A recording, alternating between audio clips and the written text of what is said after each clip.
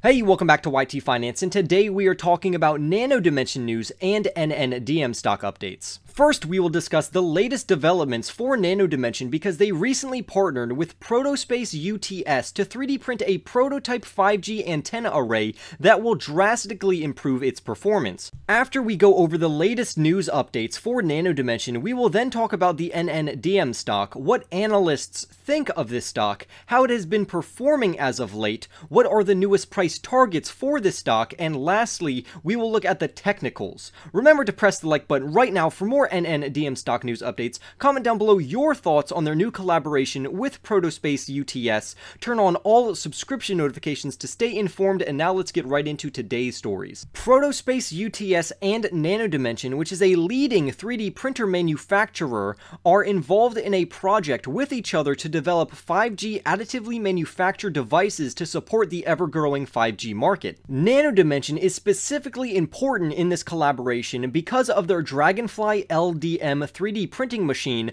that can create 5G millimeter wave antenna in package designs that are superior to other designs because this particular AIP offers higher bandwidth. This has opened a huge opportunity for 3D printing to help out 5G players through high-end equipment manufacturing to make devices that are even better than the ones they are currently using. Now before we get too deep, let me quickly catch you up on NNDM in case you have not seen my videos. The article says Nano Dimension's flagship Dragonfly LDM system is the driving force behind the firm's AME capabilities, combining freeform geometrics with embedded electronics. The printer is equipped with two inkjet print heads that simultaneously print conductive silver nano inks, which form the majority of the printed circuits connections, with dielectric photopolymer inks, which provide mechanical support, thermal resistance, and electrical insulation to the surrounding structures. End quote. Also in April, NNDM acquired DeepCube, which can allow Nano Dimension's 3D printers to become self-learning to improve themselves as they print.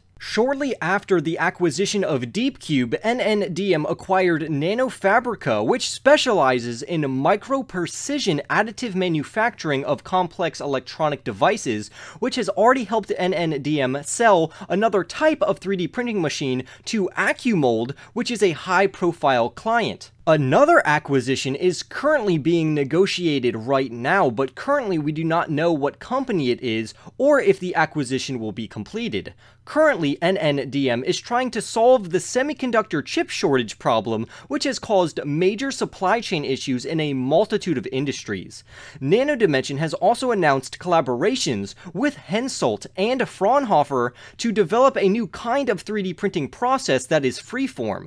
The current collaboration is set to last two years, but I think this partnership will be extended if the results come back very promising. Whatever is found or created in these collaborations, Nano Dimension will integrate it into their next Dragonfly printing model to help their aerospace and defense customers better. But now let's focus more on this new collaboration. Protospace UTS is located in Australia, and it has some of the most state-of-the-art additive manufacturing tools at their disposal.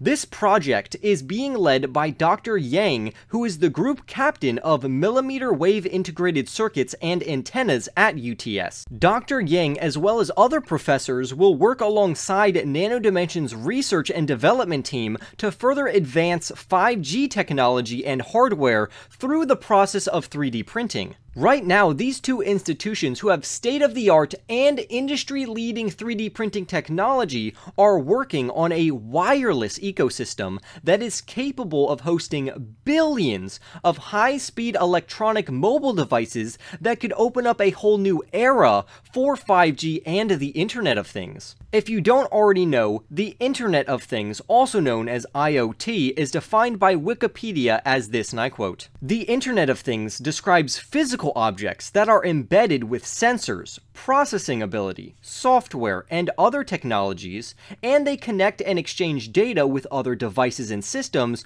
over the internet or other communications networks. 5G also has high demand for high functioning multi beam antennas because the current antenna technology that we have cannot use 5G to its fullest capabilities.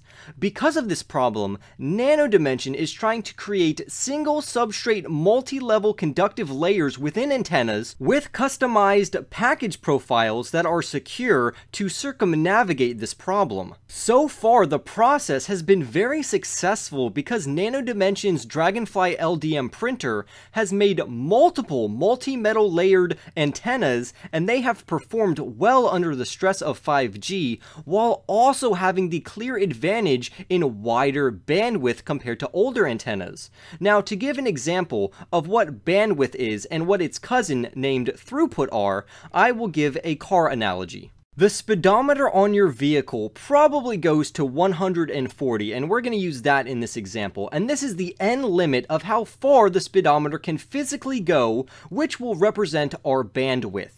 Then we have throughput, and in our example, it will represent horsepower because it actually gets us to those speeds. But let's pretend that the horsepower is only enough to get us to 100 miles per hour, which is what the car will actually travel at. So the bandwidth is the limit or the range of how fast it can go, but the horsepower and throughput will dictate how fast the car will actually go, even though technically it could go much faster. Now that was a very simplistic representation that bandwidth is basically the range and throughput is actually the power that utilizes that range. So now that you understand that, let's talk more about these 3D printed antennas. So the team found out that when more layers are added, more bandwidth is then achieved. For instance, three layers will achieve a 5 to 10% increase from a base model, while seven layers have an 83% increase in bandwidth. So with the use of 5G and therefore higher throughput, the bandwidth needs to be much higher to utilize this new power,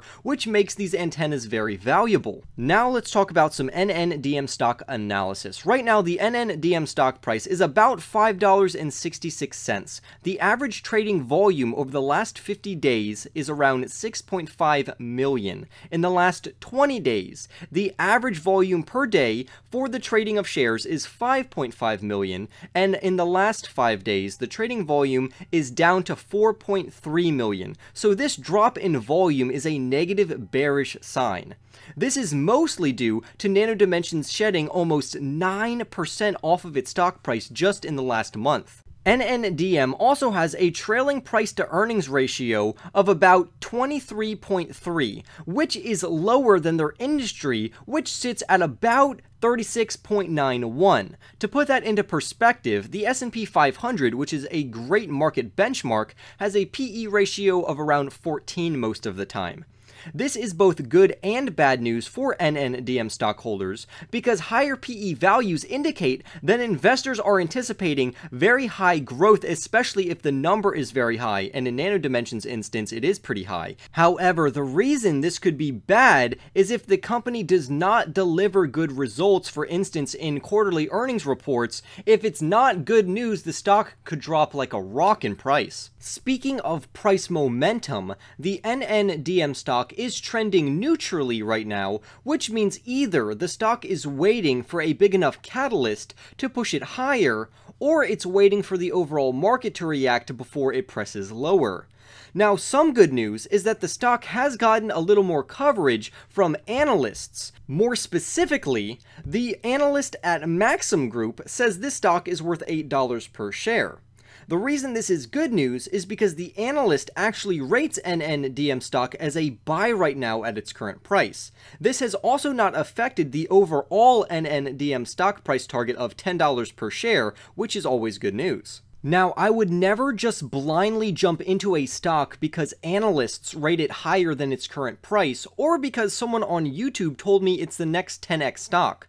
Also, to be fully transparent with you, I do own this stock through exchange traded funds, also known as ETFs, from ARK Invest, but I do not hold this stock directly because my portfolio already has enough risk factored into it. This is why I always like reminding people and other investors of the amazing option of owning the PRNT ETF by ARK Invest, and I like this ETF because I get to own a large chunk of the best 3D printing stocks like Nano Dimension. But what are your thoughts? Your thoughts down below about Nano Dimension stock or the company as a whole. Remember to like this video, especially if you made it all the way to the end. Subscribe if you are new, and I will see you in the next YT video.